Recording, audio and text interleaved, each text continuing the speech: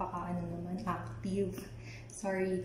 And for today's video, ipapakita ko sa inyo yung isang secret. Puro secret, di ba? Pero it's a special and natural rem- regimen for the pores of our skin, sa mga pores ng skin natin. So, wala kayong gagastusin dito, hindi kayo bibili.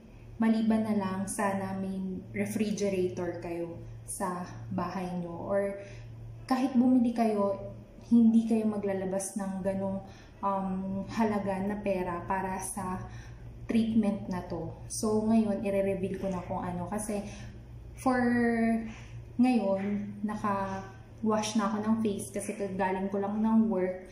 So, nakapag-wash na ako ng face. Yung facial gel wash ko na L'Oreal, napakita ko na on my previous photo. And then after, I'll apply the this one. Ayan. Ayan. Hindi nyo makikita. Kunin ko na lang. So, this one. See?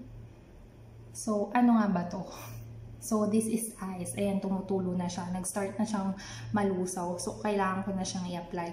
This uh, ice, you can use uh, to prevent na mag-open palalo yung pores nyo. Hindi ko sinabi na as in magko-close yung pores nyo. Ano nga ba yung pores? Yung pores, yun yung small opening sa face natin. Yung mga nakikita natin naka-open dito, especially on your cheeks here on chin and forehead. Pero ako, dito lang sa center ng cheeks ko. Yan, dito sa cheeks ko, inner cheeks ko pala. Diyan yung problem ng pores ko. So, paano nga ba, paano ko to ginagawa? So, after washing, I'll put the ice on this area.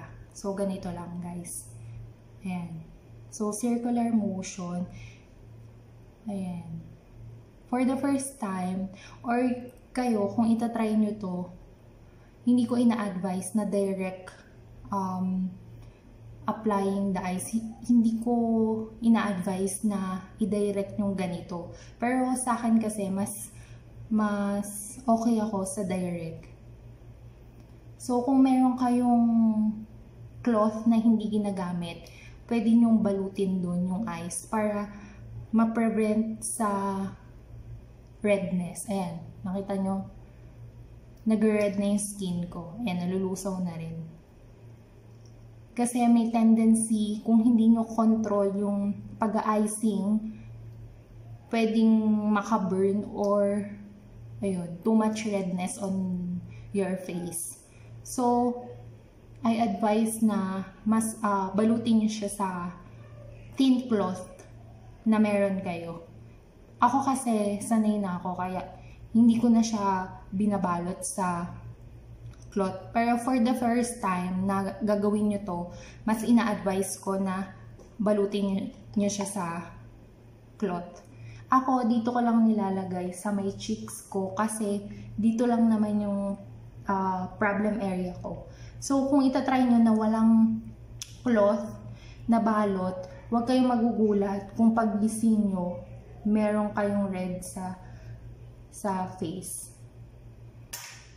Maaalis din yun. Pero, much better mag-cloth kayo para iwas sa pamumula. Ayan. Kung mer ganito kaliit yung eyes nyo, okay na yun. Kapag nalusaw at na-apply nyo na in circular motion, hindi madiin na kung direct kayo. Very light lang Ayan. Okay na yung ano. Pwede din dito. Actually, pwede siya whole face. Ayan. Pakita ko sa inyo kung paano. Pwede siya whole face. Pero ako kasi, on your nose, kasi, kasi meron din dyang pores, diba? Pwede din siya sa mga mild acne or pimples na tinatawag. So, it can help to prevent your pimples on your face. Ayan, nalusaw na. After that, okay na. Pahayaan nyo lang matuyo yung or, or pwede nyo din after that, tap on your face. Ayan. Parang maka-Korean lang, ba? Tap on your face para ma-absorb pa yung coldness ng ice sa face nyo. Ayan. This is one of my regimen sa face kung bakit, uh, kung ano yung nakikita nyo sa ngayon. So, maha in short, maalaga lang talaga ako sa mukha. Especially on my face, maalaga talaga ako. Ayan. Kung ano na tinatry ko, na makita ko or alam ko na makakatulong sa face ko. Ayan. So, after that, kung, kasi meron pa akong nilalagay, so I just, um, dry with a little cloth lang. Kasi lalagyan ko siya ng toner. So, ngayon, mapapakita ko na sa inyo kung paano ko nilalagay yung toner ko, yung shinare kong video last time kung paano ko siya nilalagay. Last time, in-explain ko lang, ba diba? So, ganito, papakita ko sa inyo. Every night ko tong nilalagay. Eh, uh, I mean, morning and evening. Oh, yes, every night. Pero, um, morning din nilalagay ko siya. Diba, napakatipid. Wala kayong uh, bibilin. Kung bibili man kayo, magkano lang yung yellow, diba? You can use how many weeks siguro yun kung may ref kayo. Kung may ref kayo, gumawa na lang kayo ng yellow sa, sa inyo, ba diba? Pwede nyo tong gawin morning and evening, yung pag-icing ng face, morning and evening, para talagang continuous nyo gawin para makita nyo yung result na nag-prevent ng uh, para ma-open yung pores nyo sa face. Kung gusto nyo naman na malinis talaga yung face nyo, as in underneath, ang advice ko is warm water before uh, before cleansing any soap, warm water and then yun, wash nyo na ng soap and then after, cold water na. Yun.